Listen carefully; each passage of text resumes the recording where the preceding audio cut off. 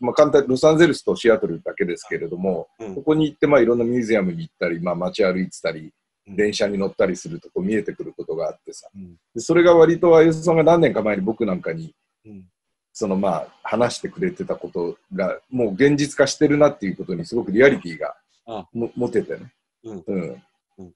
それについてさ、じゃあちょっと話してみて。あの、え例えば、まあ、例えばそのすごい格差っていうもの例えばロサンゼルスに行くとね、まあえー、と昔ロサンゼルスのリトル東京っていうのがまあ今でもあるんですけれども、うん。そこはずっとまあどっちかというと日系2世とかのおじいさんおばあさんがそのでっかいマンションに住んでてそこに JSCC っていう、うん。あのジャパニーズ・アメリカン・カルチャール・コミュニティ・センターっつってね日系のこう芸術、まあ、音楽とか美術とかそういうのやつそこのディレクターの方知ってて、訪ねてったんだけどその人もすごい面白いアーティストなんですけど、うん。あのそこの周りがさその全部昔はほら浅草のお土産屋さんみたいな、まあ、どっちかって言ったら観光客向けのうん。レストランがあったり、お土産ギフトショップがあったけど今それがみんなそのアニメみたいなオタクのあそういうところにガーって変わっちゃってるのと、うん。でそういうののオーナーが日本人かと思いきや韓国系の人だったりうん。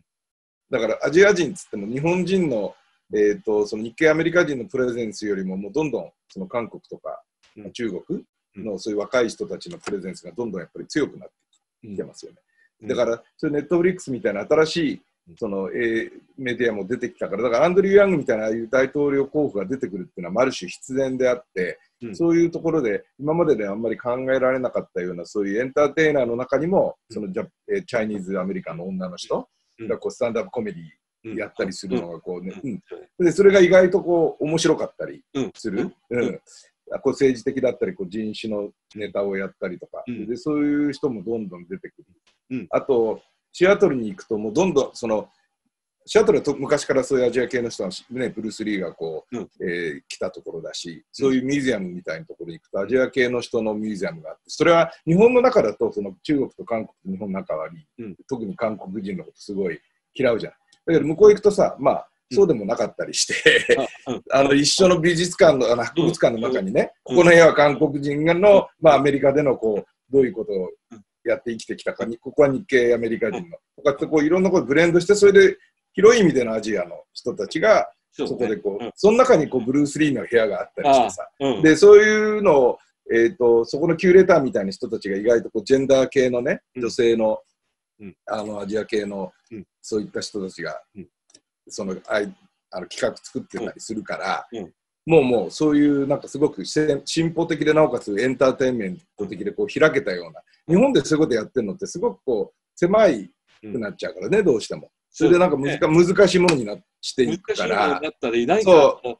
えっとマイナーなんだよね、あとね、ノリが。うん、あの、うんマイナーなさ、なんか、あの、70年代からの、あの、社会運動の、そうそうそう、延長線上だよね。そうなんか硬い感じがしたりするね。そうなんだよね。いや、そのさ、僕もね、あの YouTube では何年か前から、その、エイジャン・アメリカンのね、あの、そのスタンダップコメディのチャンネルとかさ、そういうのちょっと見あるある。てて、それであの結構、あの、だから、チャイニーズ・アメリカンとか、あの、コリアン・そうそうそうアメリカン、うんあの、それから、あの、イラニアン・アメリカンも含んだりしてるそうそうそう。うんそうです、そうです。で結構ね、その、インド人とかね。うん、あの、うん。社会状況とか、自分たちがどうあ生きててさ、どんなものがあったとかさ、そういうのことを語ってて結構面白いんだよね。そうです、そうです。ううんん、だからすごくうん。いや、あともう一つはね、あの、僕、学校にさ、行ってた頃ね、あの、まあ、チャイニーズ・アメリカンの結構クラスにあのいいたんだけど、あの、うんなんかやっぱり一つのね、あのそこにあのいいて育っていると、あのえーエイジャン・アメリカンっていう一つのね、なんかあの共通な感覚がある気がするのね。うん。あの、うんえー、とそれは日本ではさ感じられないっていうかさだから例えば日本人と韓国人とあの中国人とそれがあの感じられないと思う感じられない、感じられない。うんだけどアメリカではねそういうねあの一つのエイジャン・アメリカン的なアイデンティティがあったしなんかそういうものを感じてた。うん僕もそういうの感じてましたね。うんうそれでん。それがさ、例えばね、あのじゃああの、他の国から留学生が来ると。あのそうするとね、あのまあ、僕があの、えー、とその中学校に行行ってた頃もあの、中国からの留学生が来たんだけど、あのその人は入り込むのがちょっと難しかったね、クラスに。あのなるほど。チャイニーズ・アメリカンが同じものとしてあの受け入れられないの。あの感覚も文化もより違うし、例えば他のエイジアンアメリカンよりも、あのアジアの本土の国から来た人の方が違うんだよね。そうだね。まあまあ、でもほら、あゆさん言ってたのは、その、あの、ニューヨークのその、プライベートミドルスクールですよね。だから、まあまあ、そういう若い時に来ればさ、それでもまだ、そのブレンドして徐々にそういった、なんていうのかな、文化に影響を受けて変わっていくのかもしれないけどね。うん、ただ、えっ、ー、と、今、要するに、あの、特に西海岸の、その、聞くところによると、その大学とかってもう圧倒的にもうアジア人が UCLA みたいなね、うん、そういうブランドネームの高い大学とかっていうのはもう特にもともとアジア系アメリカ人もいるし、中国から留学してくる人。それでもそのなんか学費とかっていうのもアメリカってさ、うん、もうなんかすごい高いね。もう全然普通の人がだからだからバーニー・サンダーズみたいな人が出てきて教育をただにしようって言ってるんだけど、もっともな話でいわゆる州立大学みたいなのももう桁違いの、もう金持ちしか来るなって言ってる状態で、それでそれに対して変な話、その中国のこうお金持ちの子供とかがもう、どんどん来て、いいお客さんみたいな。そうだね。ある意味ね。うん、だけどね、あのそこで起きてる一つの問題って、あのそのじゃあ中国から来た留学生がね、あのもしかして中にはそのアメリカに馴染む人もいるかもしれない。いるいると思うし、人じゃない人もいると思う、それは。亡命する人もいるかもしれないけれど、うん、だけどあの、英語で学んでね、それで中国に帰って、それで英語で、あの要するに中国のプロパガンダを英語でやってる人たちも結構いたりするんだよね。そうかもしれないね。それをあの中国内はさ、あのえーと、いわゆるあのファイアウォールっていうかさあの要するに世界のインターネットが入らないようになっているけれどだからあのその Facebook とか YouTube とか見れないようになってるんだけどあのそういう英語で向こうで学んだ人たちがねあの結構ねあの、えーといくつかの例えば Google とかで検索するとあの中国のプロパガンダを英語で書いてる人たちがいるんだよね。要するに、それはアンチ、今だったらアンチアメリカだったりするし、あの要するに中国がこんな素晴らしくやってるとか、あのパンデミックを全部収めたとか、あのそれからちょっとびっくりするのは、そういう人たちの中で昔の文化革命の頃ね、あの1960年代のその毛沢東の言葉を、あのあの要するにあのえーと、語っていた時代の、えーと、言葉をねもう一度また書いてるっていうさあの人にちょっとびっくりするところがあったのこの間ちょっとね、うん、あの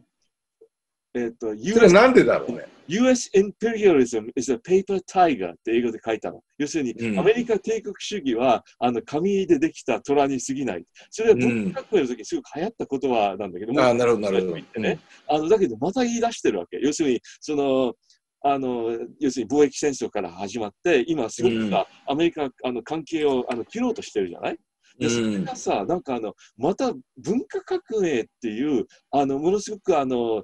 ちょっと独裁的な時代のね言葉をまた復活させてるっていうのはあのちょっとびっくりするものがあったね。うん、